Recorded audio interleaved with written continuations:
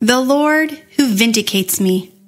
I cry out to God Most High, to God who accomplishes my requests for me. He will send from heaven and save me. He rebukes the one who is pursuing me. Selah, God will send out his loving kindness and his truth. Psalm chapter 57, verses 2 and 3. Vindication is a legal term that refers to acquitting an accused person based on other evidence that absolves them from the charges that the accuser presents in court. This psalm is one of the songs of David, the man after God's heart. He realizes that for him, there may be several accusers with hard facts to prove his guilt. He was king of Israel and had made the wrong calls severely during his reign. He made Joab take a census, slept with Bathsheba, and killed Uriah. Yet he realizes that God is the one who vindicates him, even with his offenses. It is common knowledge that David was a man after God's heart. So we often assume that God showed favoritism to this man.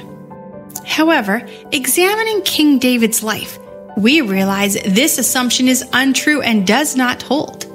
David was always in God's presence with a repentant heart whenever he sinned and never returned to the same sin. This signifies that he knew that only God could vindicate and absolve him from the guilt of sin. He was sure of God's love, fairness, and kindness, and would rather receive God's rebuke than fall into man's hands. This certainly came from a close walk with God that convinced him of God's endless love. So, although David had many flaws, that would have served as legal facts against him in God's court. He often basked in his abiding trust in God's loving kindness. Hence, like a little child, he trusted God would always come through and vindicate him.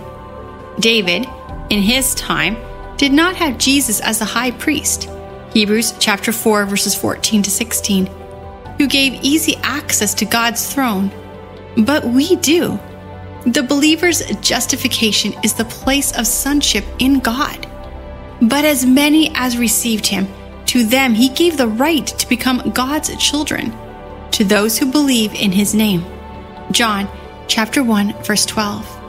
So we are to boldly go before God's throne as those led by God's Spirit. Romans chapter 8 verse 16. Knowing that we stand vindicated before God in the presence of our accuser, the devil. I heard a loud voice in heaven saying, Now the salvation, the power, and the kingdom of our God and the authority of his Christ has come. For the accuser of our brothers has been thrown down, who accused them before our God day and night. Revelation chapter 12, verse 10. We must remember that our salvation is complete, and we are now carriers of God. Of course, we might fall into sin, but we enjoy the place of sonship and grace of a loving Father. His interest and ability to vindicate is changeless, and nothing can separate us from His love. Romans chapter 8 verses 38 and 39. Knowing this, we are more than conquerors, even with sin and temptation, through Him that has loved us.